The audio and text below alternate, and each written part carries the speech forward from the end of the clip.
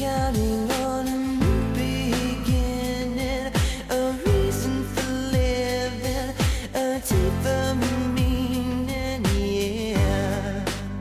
but I wanna stay.